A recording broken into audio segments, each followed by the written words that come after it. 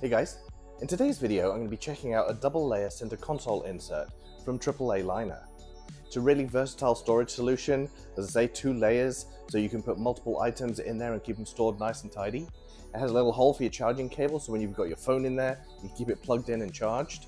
Put your sunglasses in there, headphones, whatever you need to take on the go with you. It's got roast leather inserts that really complement the interior of our Bronco. So let's check it out. Big thank you to AAA Liner for providing the product for this video. This is a dual level center console storage solution. There's coin storage on both liners, there's a charging port hole so you can get your cell phone charger through there, and a large storage area. And the larger one has access to the 12 volt outlet. First you're going to remove the original liner, it's pretty much useless anyway. Drop in the larger of the two liners, as you can see you have access to the 12 volt outlet.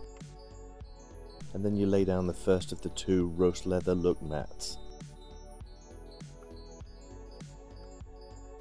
And then simply place the second of the storage liners right there on top. And then place the two remaining roast leather mats.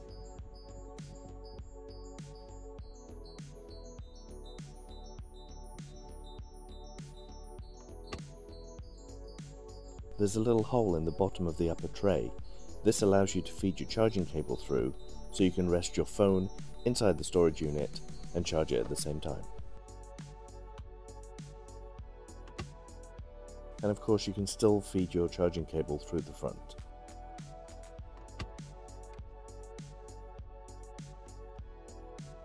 And here you can see you still have access to the full depth of the center console storage.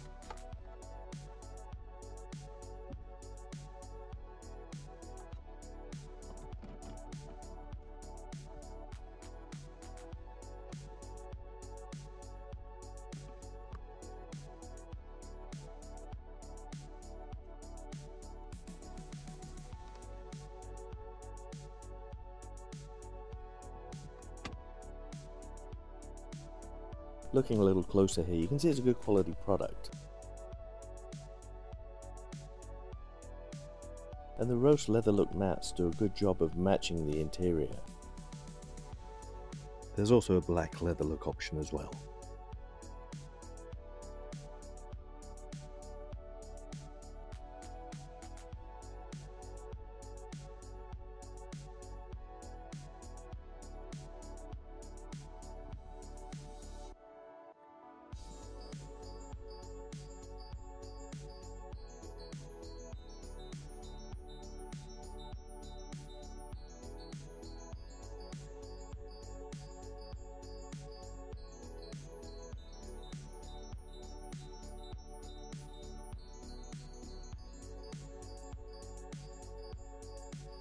So as you can see, ridiculously easy to install 30 seconds max.